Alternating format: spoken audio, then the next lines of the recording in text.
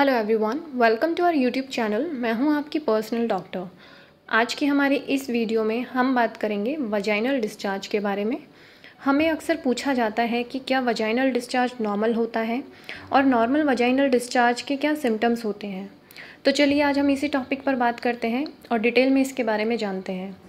Video start करने से पहले अगर आप हमारे चैनल पर नए हैं तो चैनल को सब्सक्राइब कर लें और बेल आइकन प्रेस करना ना भूलें सभी लेटेस्ट वीडियोस की अपडेट पाने के लिए।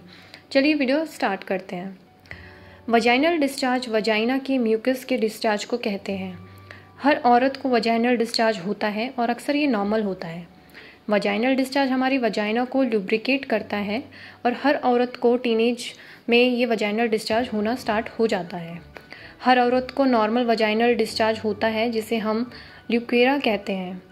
पीरियड साइकिल के पहले हाफ़ में जो ओव्यूलेशन नहीं हुआ हो तो vaginal discharge thick egg white के जैसा होता है और वो नॉर्मल वजाइनल डिस्चार्ज होता है।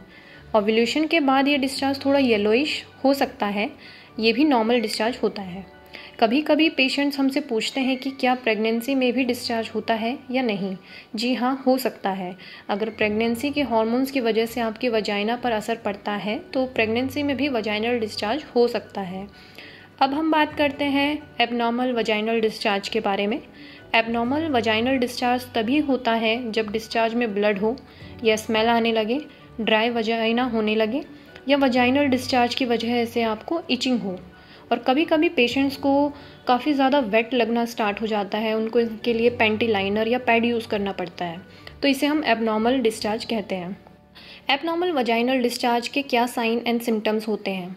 सबसे पहला सिम्टम्स है डिस्चार्ज से स्मेल आना दूसरा सिम्टम्स है ज़्यादा क्वांटिटी में डिस्चार्ज आना।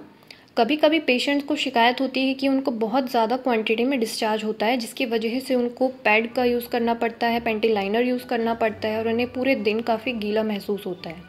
तीसरा होता है डिस्चार्ज का कलर कभी कभी discharge green colour yellow colour या रेड कलर का भी हो सकता है ब्लड आने की वजह से। वो थिक भी होता है। और नंबर फोर सिम्टम्स है, जब वजाइनल डिस्चार्ज की वजह से आपकी डे टू डे लाइफ की एक्टिविटीज़ अफेक्ट होने लगे। आपको इचिंग होने लगे और इसको भी हम एबनॉर्मल डिस्चार्ज कहते हैं। तो ये सभी सिम्टम्स होते हैं एबनॉर्मल वजाइनल डिस्चार्ज के। और जब आपको ऐसे सिम्टम्स हो, तभी आपको अपने डॉक्टर से एक बार बात करनी चाहिए। उनकी इसमें आपको ट्रीटमेंट लेना चाहिए।